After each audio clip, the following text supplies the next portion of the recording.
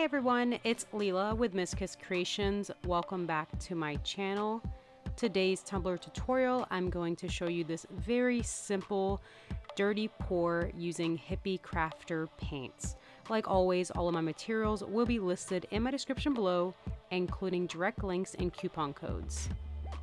This is going to be a very short video, so let's go ahead and get started on these tumblers. These are the paints that I'm working with today. They are from Hippie Crafter and they come with all of these high flow, vibrant, ultra pigmented 24 premium grade colors. These paints are so fun to use. They're very vibrant and I love how they look on tumblers.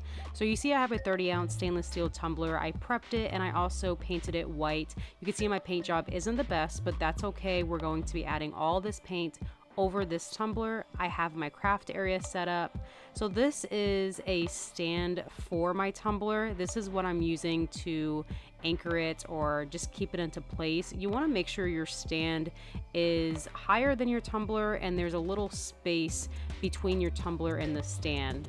Uh, so I always use this for all of my dirty pours. It's just a 22 ounce stainless steel cup and it's perfect for my bigger tumblers. These are all the paints I'll be using for my tumbler and they'll also be listed in my description. To create my dirty pour, I am using a silicone cup. This is very easy to use and it's reusable. So to start, I take all of my colors in no particular order and I add them in the cup, just adding each color individually and make sure you do not mix these colors. I'm adding them one at a time and wherever they land in the cup is where they land. And before adding the paints onto the tumbler, I'm taking some water and I'm adding water all to the tumbler. This is going to help the paints glide down the tumbler more easily and it's going to allow the paints to not stick to the tumbler. I am going to show you another tumbler I did without adding the water and you'll see the difference. And then all I did was take the paint and pour it around the tumbler, allowing that paint to drip down. I'm going to take my camera off of the tripod and show y'all. I would like to apologize for my camera angle. I'm using one hand to hold the camera, so please bear with me. But you can see that that paint ran down and there's some areas of the tumbler that the paint didn't uh, run down or glide down smoothly. So just like the area that I pointed to, I take a wooden stick and I push that excess paint on top that's pulling on top of that cup and I push that in the areas where there's bare spots on the tumbler. And I love watching this. I love how all the paints like separate and make a cool effect. And then I have extra paint left over and I add that extra paint towards the edges to make sure all that paint runs down and it covers that entire tumbler.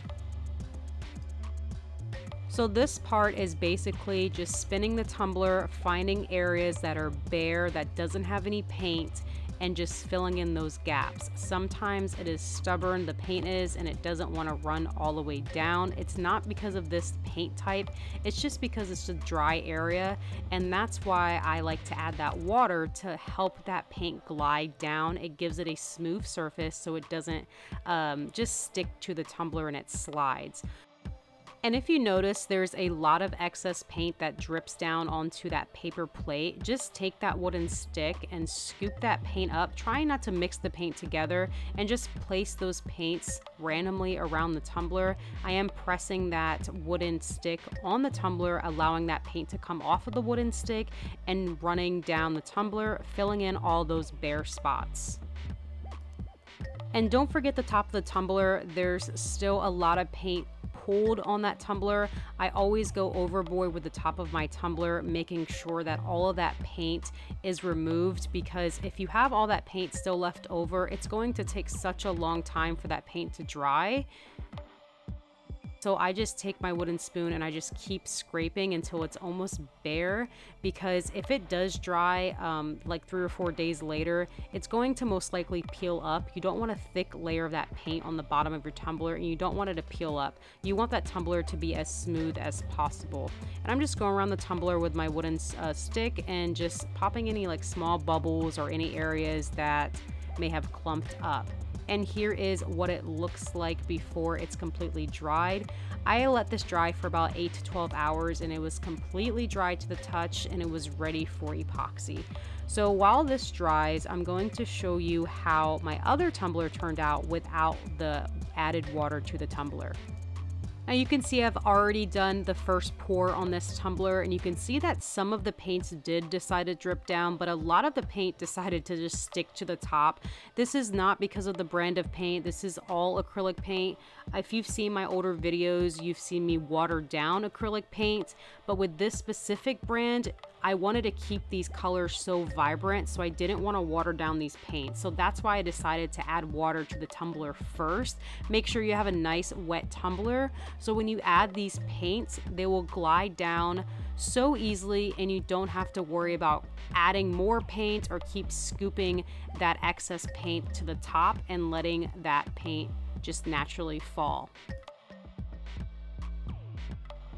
All right, so let's go back to my other tumbler. It was about 12 hours for it to dry and I let it dry on my paper plate. You can see that it was stuck to the paper plate. I forgot to transfer it to another surface. So if this does happen, I wanted to show y'all, it's okay. Just take your X-Acto knife and cut into that paint or just simply move that to another surface after like two hours of it drying so it doesn't get stuck and difficult to remove.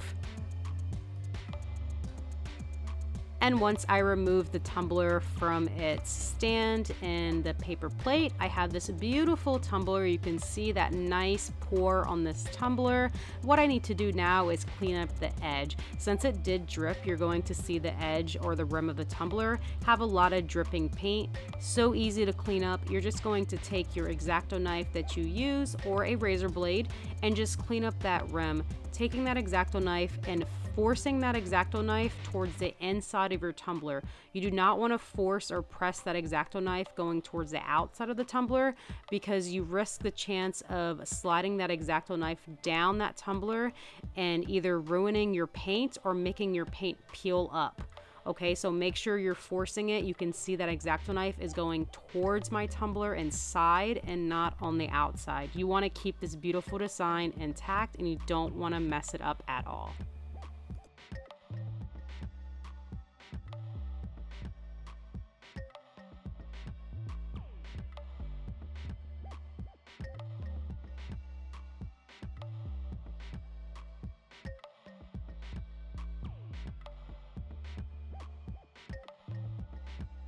And once I finished removing the excess paint, I went in with a 120 grit sanding block and I sanded down my rim of the tumbler. I did this very lightly, just removing any of those stubborn parts that I couldn't get with the X-Acto knife and carefully sanding around, focusing more on the inside. And then I took my finger and I felt little areas. It was easier to feel with my finger of which areas needed more sanding and more cutting with my X-Acto knife.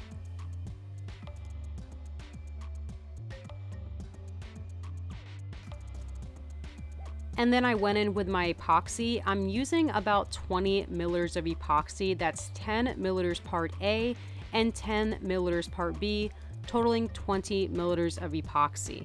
Now I am not adding a decal to this tumbler. I decided to leave it as is because it's so beautiful with just the dirty pour paint on the tumbler. But if I were to be adding a decal, I would probably epoxy this with 10 milliliters of epoxy add my decal, and then go in and cover the decal in the tumbler with another 20 milliliters of epoxy. Once I was finished adding my epoxy to the tumbler, I let my tumbler spin on the cup turner for four hours. I then turned off my cup turner, let my tumbler air dry or air cure for another 20 hours with a total drying time of 24 hours. And once my epoxy was cured on my tumbler, I took that X-Acto knife again and I went around the rim of my tumbler one more time just to make sure that the rim was completely cleaned up. And once my tumbler's rim and the inside of the tumbler was completely cleaned, this was my final result. This tumbler was so fun to make. I love choosing all the different colors on the tumbler and placing them on the tumbler. This reminds me of tie-dye, and if y'all know, I absolutely love tie-dyes, so I hope you find this tumbler as an inspiration, and I hope you guys really enjoyed this video. And if you did, please be sure to give it a thumbs up, and don't forget to subscribe to my channel for more tumbler and craft videos. Thanks so much for watching, and I'll see y'all next time.